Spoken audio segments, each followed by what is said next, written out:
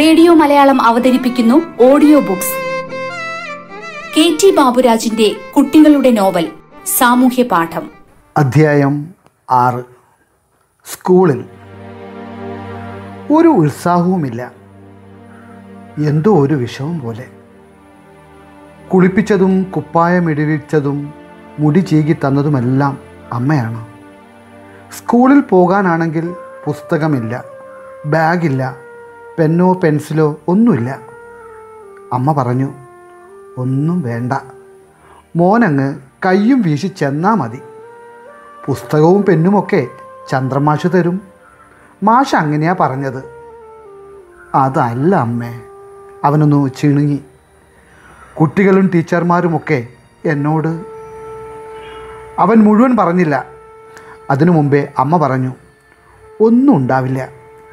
എന്റെ മോനോട് ആരും മോശമായി പെരുമാറുകയുമില്ല. പിന്നെ അമ്മയും വരുന്നുണ്ടല്ലോ കൂടെ. അതവന് ആശ്വാസമായി. അവൻ മുന്നേ നടന്നു. അമ്മ പിന്നാലെയും. വേനൽ മഴ ഇന്നലെ പെയ്തിരുന്നു. പുതുമണ്ണിന്റെ മണം മാറിയിട്ടില്ല. എന്നാലും നല്ല ചൂടുണ്ട്. ആളുകളൊക്കെ എന്നെ തുറിച്ചു നോക്കുന്നുണ്ടോ? കുട്ടികളൊക്കെ എന്നെ നോക്കി കളിയാക്കി ചിരിക്കുന്നുണ്ടോ? താഴെക്കുന്നമ്പലത്തിലെ പൂജാരി പറഞ്ഞു തന്നത് ഓർമ്മയുണ്ട്. സംഭവിച്ചതെല്ലാം നല്ലതിന്. ഇനി സംഭവിക്കാൻ പോകുന്നതും നല്ലതിന്. അങ്ങനെ വിചാരിച്ചാൽ മതി. പ്രതിസന്ധികളെ ബുദ്ധിപൂർവം ധീരമായി നേരിടുന്നവരാണ് മിടുക്കന്മാർ. അവർക്കാണ് ഈ ലോകത്തെ മാറ്റിത്തീർക്കാൻ സാധിക്കുക. ഹരി ഡോക്ടർ പറഞ്ഞു തന്നതാണ്. അപ്പോൾ അവന്റെ ചുവടുവെപ്പുകൾക്ക് ഒരു ഉണർച്ചയുണ്ടായി. അവൻ തിരിഞ്ഞു നിന്ന് അമ്മയെ വിളിച്ചു ഒന്ന് വേഗം നടക്കമ്മേ ബെല്ലടിക്കും. അഞ്ചാം തരം എ ഇപ്പോൾ ഹെഡ് മാഷുടെ മുറിയാണ്. ആ ക്ലാസ് പുതിയ ഷെഡിലേക്ക് മാറ്റിയിരിക്കുന്നു. ചന്ദ്രമാഷ് പറഞ്ഞു പുസ്തകങ്ങളെല്ലാം ഞാൻ എടുത്തു വച്ചിട്ടുണ്ട്. മാഷ് ഒരു കുട്ടിയെ കൈമുട്ടി വിളിച്ചു ഏഴ് സിയിലെ നന്ദന കേട്ടിയോട് ഒന്ന് വരാൻ പറയൂ. നന്ദന ഓടി വന്ന് ഹെഡ് മാഷുടെ മുന്നിൽ അറ്റൻഷനായി നിന്നു. ഒന്ന് തല ചെരിച്ച് അപ്പുവിനെ നോക്കി ചിരിച്ചു.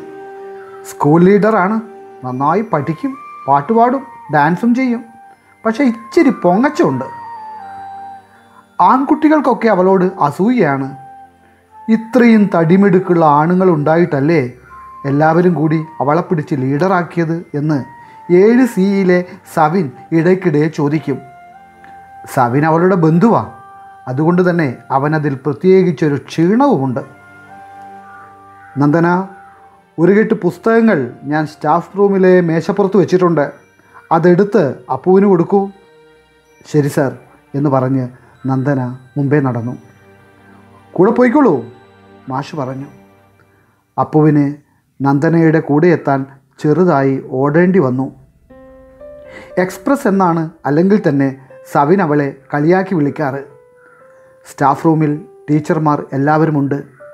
മൊയ്തു മാഷ് മാത്രം ആണുങ്ങളായി അവർക്കിടയിൽ. ടീച്ചർമാർ അവനെ നോക്കി വെറുതെ ഒന്ന് ചിരിച്ചു. ആരെങ്കിലും എന്തെങ്കിലും ചോദിക്കുമെന്ന് അവൻ കരുതി. അതുണ്ടായില്ല.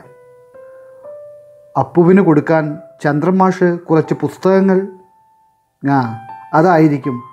സൗദാമിനി ടീച്ചർ വിരൽ ചൂണ്ടി.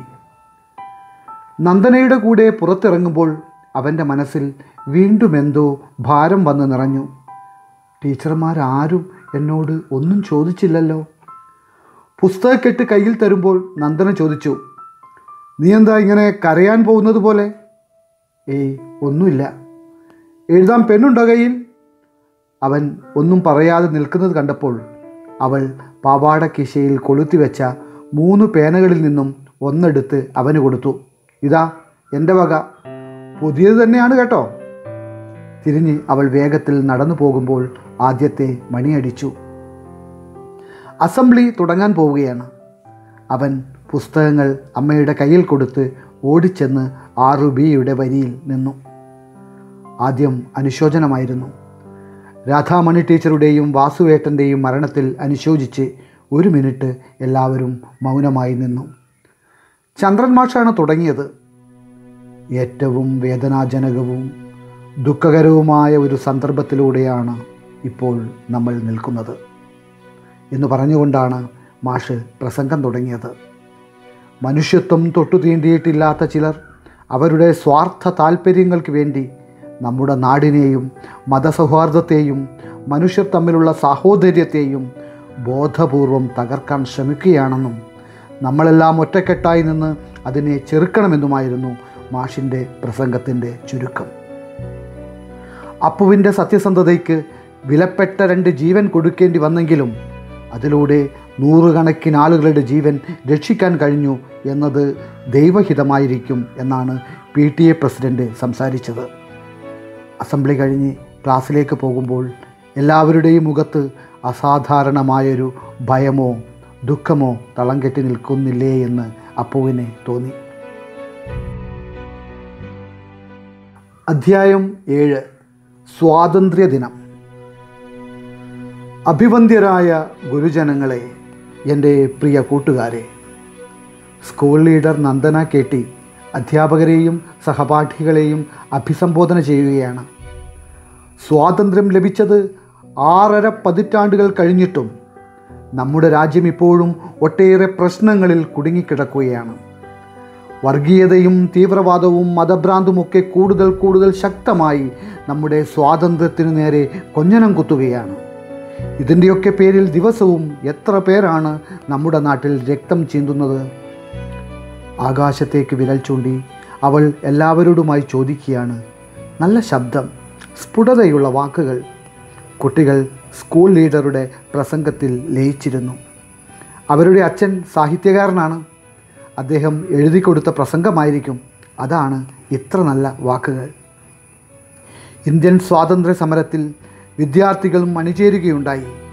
ഇപ്പോൾ നമ്മുടെ നാടിനെ ബാധിച്ചിരിക്കുന്ന മതവിദ്വേഷത്തിന്റെയും തീവ്രവാദത്തിന്റെയും വർഗീയതയുടെയും ശക്തികളിൽ നിന്നും നമ്മുടെ നാടിനെ മോചിപ്പിക്കാൻ വിദ്യാർത്ഥികളായ നമ്മളും അണിചേരേണ്ടിയിരിക്കുന്നു. കുട്ടികൾ ആവേശത്തോടെ കൈയടിച്ചു. ഒരു കുളിര് തോന്നി അപ്പുവിനും അവനും മുഷ്ടി ചുരുട്ടി ഉറക്കെ അലറി ജയ് ഹിന്ദ് ജയ് ഹിന്ദ്. അശ്വന്ത് വൈഷ്ണവ് യാസിൻ ടോമി പിന്നെ ഏഴ് സിയിലെ സവിനും അവരോടൊപ്പം ചേർന്നു. നിവർത്തിവെച്ച ഡ്രോയിങ് ഷീറ്റിൽ നിറമുള്ള പെൻസിലും സ്കെച്ചും ഉപയോഗിച്ച് അവർ ഒരു പോസ്റ്റർ തയ്യാറാക്കി. സുധാകരൻ മാഷായിരുന്നു മേൽനോട്ടം. പുതുതായി വന്ന മാഷ്. നന്ദനയാണ് ഒരു തുണ്ട് കടലാസിൽ ആ വരികൾ അവർക്ക് കൊടുത്തത്. ഞങ്ങൾ കുട്ടികൾ സ്നേഹം കൊണ്ട് കോർക്കപ്പെട്ടവർ. ഞങ്ങൾക്കിടയിൽ ജാതിയോ മതത്തിന്റെയോ വേലിക്കെട്ടുകളില്ല. ഈ ലോകത്തിനു വേണ്ടി പ്രകാശം പരത്താൻ ഞങ്ങളെ പുഞ്ചിരിക്കാൻ അനുവദിക്കുക. എത്ര പെട്ടെന്നാണ് പോസ്റ്ററുകൾ നിരന്നത് ആവേശത്തോടെ അത് ചുമരുകളിലും റോഡ് പക്കത്തെ മരത്തിലും മറ്റും ഒട്ടിച്ചു. പിന്നെ സ്വാതന്ത്ര്യദിന റാലിയായിരുന്നു. പ്ലക്കാർഡുകളേന്തി കുട്ടികൾ നിരനിരയായി പുറത്തേക്കിറങ്ങി. സുധാകരൻ മാഷായിരുന്നു മുന്നിൽ. മാഷ് ഉറക്കെ കുട്ടികൾക്ക് മുദ്രാവാക്യം പറഞ്ഞു കൊടുത്തു. കുട്ടികളത് ഏറ്റുവിളിച്ചു. പെൺകുട്ടികളുടെ മുന്നിൽ നന്ദനയാണ്. അവൾ ഉറക്കെ മുദ്രാവാക്യം വിളിച്ചു. എല്ലാവർക്കും ഭയങ്കര ആവേശമായിരുന്നു. സ്വാതന്ത്ര്യദിന റാലി ടൗണിനെ വലം വെച്ച് വീണ്ടും സ്കൂൾ മുറ്റത്ത് വന്നു നിന്നു. എല്ലാവരും വിയർത്ത് കുളിച്ചിരുന്നു. ചിലർ വെള്ളം കുടിക്കാൻ ഓടി ചിലർ മൂത്രമൊഴിക്കാൻ പായസമായോ എന്നറിയാൻ ചിലർ സ്കൂളിന്റെ പിന്നാമ്പുറത്ത്. അപ്പു നെല്ലിമര ചുവട്ടിലേക്ക് നടന്നു. സബിനും അശ്വന്തും വൈഷ്ണവും നേരത്തെ അവിടെ എത്തിയിരുന്നു. അവർ മരഞ്ചാട്ടത്തിലാണ്. നെല്ലിമരത്തിന്റെ കൊമ്പിൽ തൂങ്ങിപ്പിടിച്ച് കുരങ്ങന്മാരെ പോലെ. അപ്പു നെല്ലിത്തറയിൽ പോയിരുന്നു. സബിനും കൂട്ടുകാരും അവന്റെ അടുത്തു വന്നിരുന്നു. സ്വാതന്ത്ര്യദിനം അടിപൊളിയായല്ലേ? യാസിൻ എല്ലാവരോടുമായി ചോദിച്ചു. സവിൻ വൈഷ്ണവിനെ നോക്കി പറഞ്ഞു ഇവൻ മുദ്രാവാക്യം വിളിച്ചില്ല വെറുതെ വായ അനക്കുക മാത്രമേ ചെയ്തുള്ളൂ. അപ്പോഴേക്കും നന്ദനയും ഗോപിയെയും എത്തി. അവരെന്തോ ചവയ്ക്കുന്നുണ്ട്. എന്താ തിന്നുന്നേ? അശ്വന്ത് ചോദിച്ചു. ഗോപിക അവളുടെ ഇൻസ്ട്രുമെന്റ് ബോക്സ് തുറന്നു. അത് നിറയെ പഴുത്ത ജാമ്പക്ക. അവളത് എല്ലാവർക്കും ഓരോന്ന് കൊടുത്തു. ഇനി എന്താ പരിപാടി? സവിൻ ചോദിച്ചു ഇനിയും ഒരുപാട് ചെയ്യാനുണ്ട്. അപ്പ പറഞ്ഞു എന്തു ചെയ്യാൻ? ഗോപികയാണ് വാസുവേട്ടന്റെ കുടുംബത്തെ സഹായിക്കണം. എങ്ങനെ? ഗോപികയ്ക്ക് മനസ്സിലാവുന്നില്ല. നമുക്ക് പിരിവെടുക്കാം. അവർ പാവങ്ങളാ. എല്ലാ ക്ലാസ്സിലും ചെന്ന് എല്ലാ കുട്ടികളോടും പറയാം. അവർ വീട്ടിൽ പോയി പറയട്ടെ? നല്ല ഐഡിയ. ടീച്ചർമാരോടും വാങ്ങണം സബിൻ പറഞ്ഞു. കുട്ടികളുടെ ഈ ആശയത്തെ ആദ്യം സ്വീകരിച്ചത് ചന്ദ്രമാഷായിരുന്നു. നിങ്ങൾ നിങ്ങൾക്ക് കഴിയുന്നത് ചെയ്യുക. ഞങ്ങൾ മറ്റു വിധത്തിലും ശ്രമിക്കുന്നുണ്ട്. ഏതായാലും ആദ്യത്തെ സംഭാവന എന്റെ വകയാവട്ടെ. ചന്ദ്രൻ മാഷ് നൂറ് രൂപയുടെ ഒറ്റ നോട്ടെടുത്ത് അപ്പുവിനെ നേരെ നീട്ടി. അവൻ അത് വാങ്ങി സബിന്റെ കയ്യിൽ കൊടുത്തു. ഇവനാണ് കാഷ്യർ. എഴുതി വെക്കണം കേട്ടോ. അപ്പു സബിനെ ഓർമ്മപ്പെടുത്തി. ഒരാഴ്ച കൊണ്ട് രണ്ടായിരത്തി അറുന്നൂറ്റി പതിനഞ്ച് രൂപ പിരിഞ്ഞു കിട്ടി കുട്ടികൾ ആ കാശ് ഹെഡ്മാഷെ ഏൽപ്പിച്ചു. ഹെഡ്മാഷ് സുധാകരൻ മാഷ് വിളിച്ചു പറഞ്ഞു നിങ്ങൾ ഇവരുടെ കൂടെ വാസുവിന്റെ വീട് വരെ ഒന്ന് പോവണം. ഇത് കൊടുക്കണം. ഇവരെ കൊണ്ടു തന്നെ കുടിപ്പിക്കണം. വാസുവേട്ടന്റെ വീട്ടിലേക്കുള്ള ചവിട്ടുപടികൾ കയറുമ്പോൾ അപ്പു പിന്നിലായി. അവന് കാലുകൾ വിറക്കുന്നു. വാസുവേട്ടന്റെ ഭാര്യ കുട്ടികൾ അവരെന്നെ തിരിച്ചറിഞ്ഞാൽ സവിനും നന്ദനയും ചേർന്നാണ് പിരിച്ചെടുത്ത തുക വാസുവേട്ടന്റെ ഇളയ മകളുടെ കയ്യിൽ കൊടുത്തത്. വാസുവേട്ടന്റെ ഭാര്യ വാതിൽപ്പാളിയിൽ മറഞ്ഞു നിൽക്കുകയായിരുന്നു. പുറത്തു വന്നതേയില്ല. അവർ ചോദിക്കുന്നത് കേട്ടു അവനെവിടെ? അപ്പു. അപ്പുവിന് ശ്വാസമെടുപ്പ് കൂടി. അവൻ പതുക്കെ മുന്നോട്ട് നീങ്ങി നിന്നു. മുഖമുയർത്താൻ കഴിയുന്നേയില്ല. കുറ്റബോധം ഭയം എന്തെല്ലാമോ വികാരങ്ങൾ. മാഷ് വിളിച്ചു അപ്പോ അവൻ കൊലായിൽ കയറി. മുഖമുയർത്തിയില്ല. വാതിൽപ്പടി കടന്നു. അപ്പോഴും മുഖമുയർത്തിയില്ല. മുന്നിലിപ്പോൾ അവരാണ് വാസുവേട്ടന്റെ ഭാര്യ. അവർ എന്നെ എന്ത് വേണമെങ്കിലും ചെയ്യട്ടെ. കണ്ണിൽ നിന്നും കണ്ണുനീർ വീഴുന്നുണ്ട്. അവരുടെ കാൽക്കലും വീണു രണ്ട് തുള്ളി. അവരുടെ കൈകൾ തന്റെ തലയിൽ പതിക്കുന്നതും കാത്ത് അവൻ മുഖം കുനിച്ചു തന്നെ നിന്നു. പെട്ടെന്ന് അവരുടെ കൈകൾ അവന്റെ മുഖം പിടിച്ചുയർത്തി. അപ്പു എന്റെ മോൻ കരയുകയാണോ? എന്തിന്? കരയാൻ മാത്രം മോനൊന്നും ചെയ്തിട്ടില്ലല്ലോ. അപ്പുവിനെ കെട്ടിപ്പിടിച്ച് അവർ പൊട്ടിക്കരഞ്ഞു. എല്ലാവരുടെയും കണ്ണിൽ വെള്ളം നിറഞ്ഞു. സുധാകരൻ മാഷ് ആരും കാണാതെ കണ്ണീരൊപ്പുന്നത് പെൺകുട്ടികൾ കണ്ടു. ദാ മാഷും കരയുന്നു ഗോപിക ഉറക്കെ തന്നെ പറഞ്ഞു.